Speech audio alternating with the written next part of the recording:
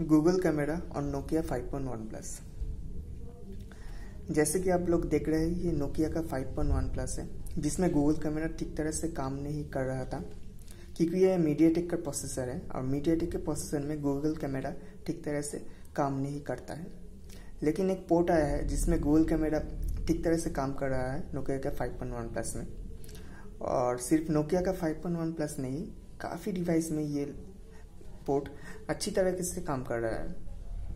इस वीडियो में मैं आपको आज दिखाऊँगा ये गोल कैमरा का क्या क्या फीचर है और इस नोकिया का 5.1 प्लस में कैसे काम कर रहा है।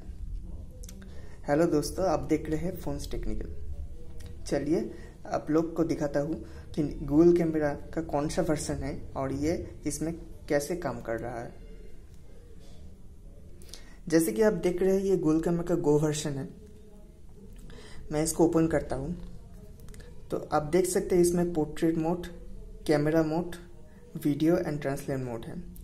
जो अच्छी तरीके से काम कर रहा है हमारे नोकिया का फाइव पॉइंट वन में। और ये फ्रंट एंड बैक कैमरे में अच्छी तरीके से काम कर रहा है। मैं कुछ सैंपल लिया हूँ तो आप लोगों को ये दिखा रहा हूँ। देखिए आप लोग, क्या अच्छी फ़ोटो आई है। तो आप समझ सके होंगे कि ये नोकिया का फाइव प्लस में गोल कैमरा अच्छे तरीके से काम कर रहा है।